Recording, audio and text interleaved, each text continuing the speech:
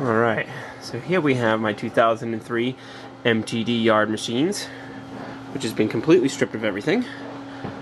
Motor, uh, the only thing that's still on it is the front axle and wheels, as you can see in the muffler, which I haven't done anything with. Anyway, I'm in the process of converting this from a vari-drive to a um, manual 5-speed.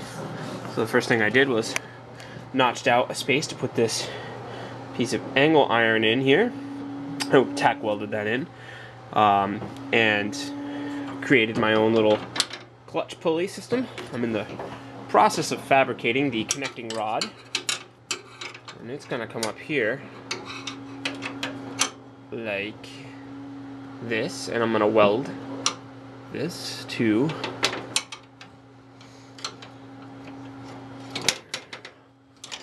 this is gonna be welded on like to that piece right there. So it's going to connect like that. We'll just have to make that weld later on. And then that will set up the clutch system.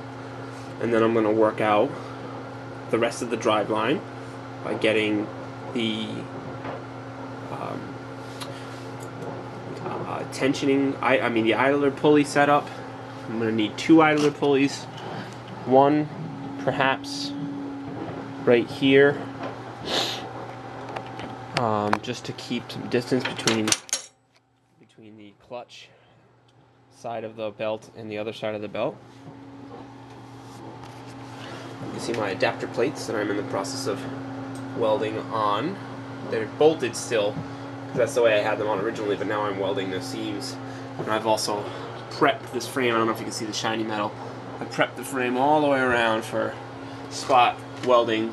I'm going to run some beads up at the top too gonna really strengthen up the frame. Basically everywhere I can, I'm gonna I'm gonna weld just to give this thing more strength.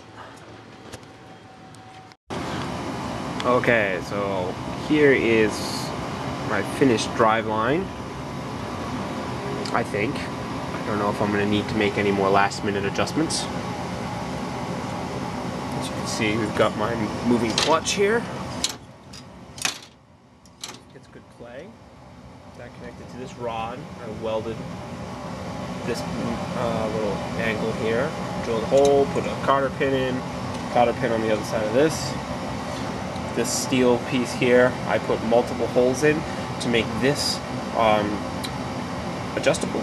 So as the belt stretches, you can move move it over. Um, I think there's seven different positions that it can be in. Um, so obviously the belt, belt is going to ride like this. Uh, and that should be just about right.